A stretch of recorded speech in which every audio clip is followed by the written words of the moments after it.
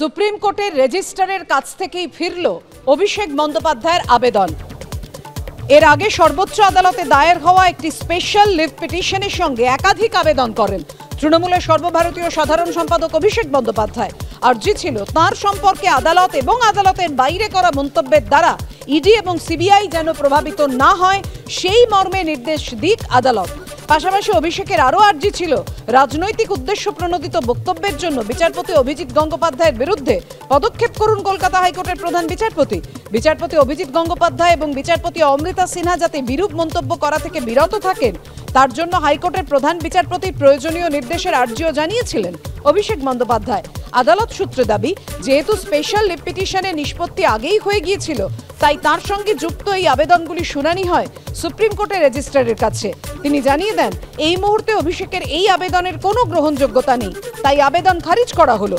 যদিও অভিষেক বন্দ্যোপাধ্যায়ের আইনজীবী সঞ্জয় বসু জানিয়েছেন, নতুন করে তার মক্কেলকে আবেদন করার কথা জানিয়েছে সর্বোচ্চ আদালত। সেই অনুযায়ী নতুন করে আবেদন করার পদক্ষেপ করা হচ্ছে।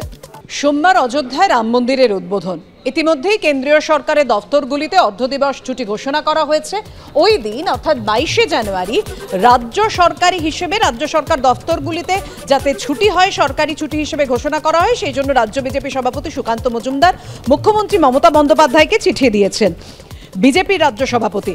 চিঠিতে রাজ্যের বেসরকারি প্রতিষ্ঠানগুলিতে ছুটি দেওয়ার জন্য সরকারের তরফে অনুরোধ করার আবেদনও জানিয়েছেন রাজ্য বিজেপি সভাপতি। ইতিমধ্যেই আগামী সোমবার অর্ধেক দিবস ছুটি দিয়েছে অসম ও রাজস্থান সরকার। পাঁচশো বছর পর হিন্দুদের এই লড়াই এবং এই লড়াইয়ের ফলে আমরা ভারতীয়রা, সনাতন ধর্মাবলম্বীরা, তারা ভব্য রাম মন্দির পেতে চলেছি। বহু মানুষের লড়াই, বহু মানুষের প্রাণ গেছে। আজকে গোটা দেশ উদযাপন করছে এবং মাননীয় মমতা বন্দ্যোপাধ্যায় তো বিভিন্ন সম্প্রদায়ের অনুষ্ঠানে হাফ ডে ছুটি দেন, অনেক কিছু ছুটি দেন। তো তাই তার কাছে আমি চিঠি লিখে অনুরোধ করেছি যে হিন্দুদের ভাবাবেগকে সম্মান দিয়ে। উনি তো বলেন, ধর্ম যার যার উৎসব সবার, তো সেই হিন্দুদের এই পবিত্র দিনে সকল ধর্মের মানুষদেরকে আনন্দ উৎসব করার জন্য উনি যেন কম করে ছুটির ব্যবস্থা করেন। হাফবেলা হলেও চলবে কিন্তু ছুটির ব্যবস্থা করেন। পাঁজিতে কোনো তারিখ দেখাতে পারবে? যদি ধর্ম মেনে থাকে পাঁজিতে কোনো তারিখ দেখাতে পারবে? রাম নবমী থাকতে পারে। কিন্তু বাইশে জানুয়ারি একটা অসম্পূর্ণ মন্দির। পুরোহিতদের বাদ দিয়ে সেবায়েতদের বাদ দিয়ে একজন রাজনৈতিক ব্যক্তি সেটা উদ্বোধন করতে চলেছেন প্রাণ প্রতিষ্ঠা করতে চলেছেন। শঙ্করাচার্য, যারা হিন্দু ধর্মের গুরু, অভিভাবক, তারা বিরোধিতা করছেন, সমালোচনা করছেন।